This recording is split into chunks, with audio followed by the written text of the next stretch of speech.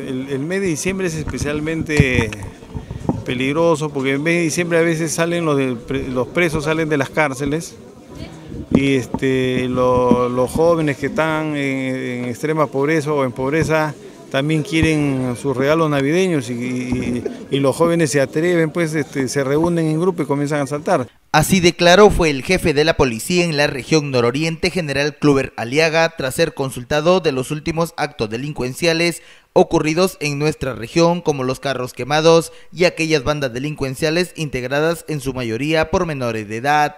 Aseguró que están tomando las acciones policiales pertinentes para contrarrestar esta situación. La autoridad policial remarcó que este último mes del año es uno de los más peligrosos y quienes más vienen infringiendo la ley son adolescentes.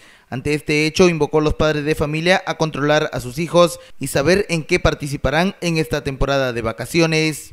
Sin embargo, estamos demostrando mucha eficiencia, se está capturando estas banditas juveniles.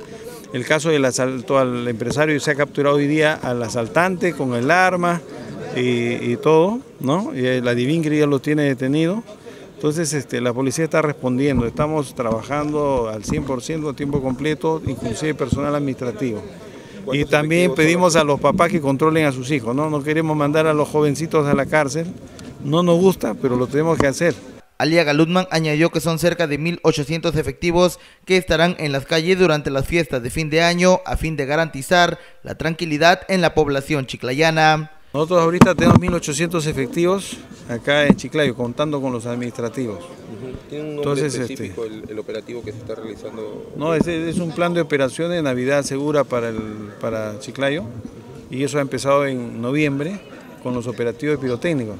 Y lo, lo rescatable es que ayer me daba una vuelta por el mercado modelo de, de- de- de- de parroquiano y no he visto ningún pirotécnico en el piso. Los ambulantes no están vendiendo pirotécnicos. Agregó también que la venta ilegal de pirotécnicos se continuará combatiendo hasta los primeros días del 2015.